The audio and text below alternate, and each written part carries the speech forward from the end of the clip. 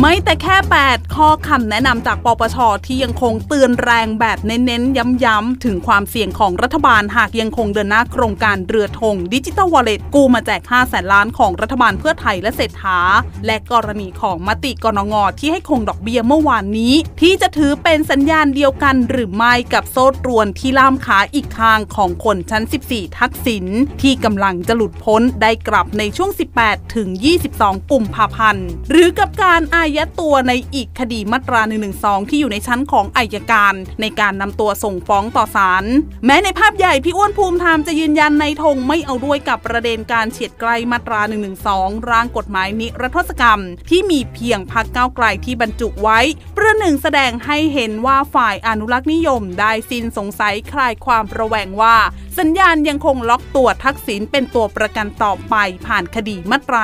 112 จะทำให้เกิดการกลับไปคืนดีกันระหว่างเพื่อไทยกับก้าวไกล และหันหลังมาตลบหลังฝ่ายอนุรักษ์ หากแต่สัญญาณที่ออกมากรณีของดิจิตอลวอลเล็ตที่สัปดาห์หน้าจะมีการประชุมบอร์ดดิจิตอลเพื่อเคาะสรุปส่งต่อคอรมอก็ยังคงเข้มข้นล้อกันไปกับประเด็นคนชั้น 14 อย่างที่หลายฝ่ายมีการขยายผล 8 ข้อคำเตือนของปปชเมื่อวาน ให้รัฐบาลยอมถอย อย่าดันทุรังเดินหน้าโครงการเรือธงด้วยการกู้มาแจกอย่างที่สว.สมชายโพสต์เฟซบุ๊กพาดหัวว่าข้อเสนอปปชดิจิตอลวอลเล็ตกู้มาแจก5แสนล้านเสี่ยงคุก ว่ารัฐบาลควรจะใส่ใจและทบทวนการดำเนินการหรือยกเลิกโครงการตามคำเตือนของปปช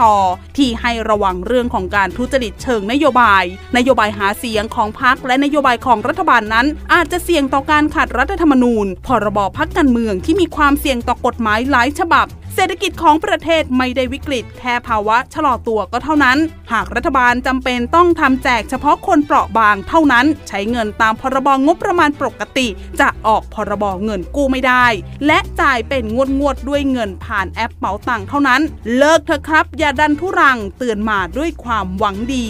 เช่นเดียวกับอาจารย์สมชัยอดีตกกตและอดีตกรรมธิการงบปี 66 ที่ระบุพอยต์สำคัญอยู่ที่การกู้มาแจก ที่เป็นประเด็นสุ่มเสี่ยงต่อข้อกฎหมาย โดยมองว่าปปชนั้นไม่ได้ทำเกินหน้าที่ เพราะพรปปปชมาตรา 32 ก็เขียนไว้ว่า ปปชนั้นมีหน้าที่และอำนาจ เสนอมาตรการความเห็นและข้อเสนอแนะต่อคณะรัฐมนตรี เพื่อจะป้องกันหรือปราบปรามการทุจริต หรือแม้โครงการยังไม่เกิดก็เสนอเพื่อป้องกันได้ และคอรมอก็ไม่จำเป็นต้องปฏิบัติตามข้อเสนอของปปชก็ได้ เพราะข้อเสนอของปปชนั้นเป็นเพียงการให้ข้อคิดเห็น รัฐบาลไม่จำเป็นต้องปฏิบัติตาม ส่วนรัฐบาลควรเดินหน้าในเรื่องการแจกเงินดิจิตอลอย่างไรนั้น หากรัฐบาลเห็นว่าเป็นสถานการณ์ที่จำเป็นเร่งด่วน ก็ออกเป็นพระราชกำหนด แต่หากอยากให้รัฐสภามีส่วนร่วมรับผิดชอบ ก็ต้องออกเป็นพระราชบัญญัติ ส่วนคอรมอจะกล้าลงมติ ส่งร่างพรบกู้เงิน5แสนล้านเข้าสภาหรือไม่ และจะมีผลอย่างไรตามมาคำตอบก็คือไม่รู้ ถ้าอยากรู้ก็ทำได้เลย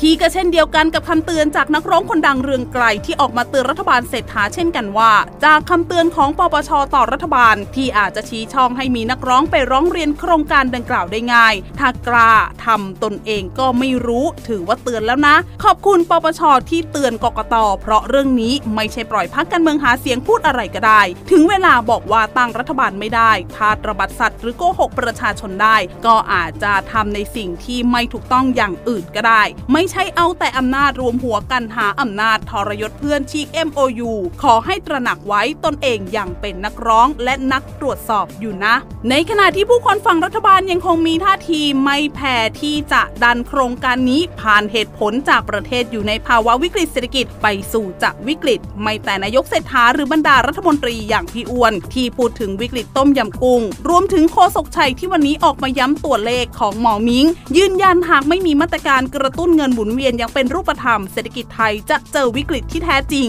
ที่แม้ตอนนี้จะยังไม่ได้อยู่ในขั้นวิกฤต แต่คาดการได้ว่า หากไทยยังไม่ดำเนินนโยบายที่เห็นผลเป็นรูปธรรม ก็อาจจะเจอวิกฤตที่แท้จริง